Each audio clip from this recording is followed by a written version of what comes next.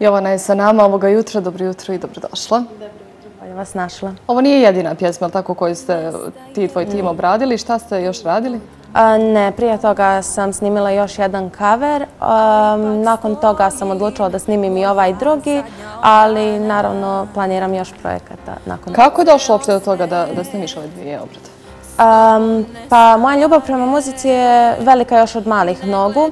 Sada kada sam došla da kažem u te neke zrelije godine, shvatila sam da sam spremna da načinim taj prvi neki korak ka svijetu muzike. E, u ovom slučaju to je bio moj prvi kaver. Inače imaš i muzičko obrazovanje, ili tako? E, tako je, završila sam muzičku školu e, odsjek klavir i trenutno pohađam demo školu pjevanja kod Danijela Alibabića. Mhm. Jesi li sama odbirala ove pjesme?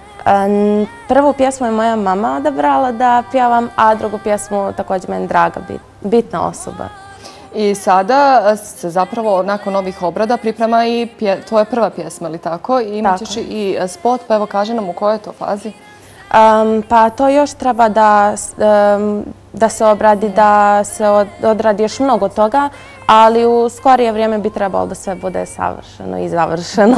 Da li se tebi dopadaju te pjesme koje su pisane baš za Da, da, naravno.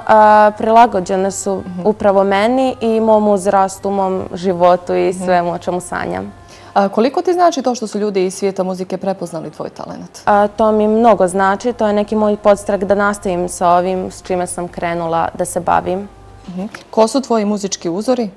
Pa, moji muzički uzori, ima ih zapravo mnogo, ali ako bih morala da izdvojim par, to bi bile Marija Šerifović i Elena Tomašević i tako velike pjevačice poput njih.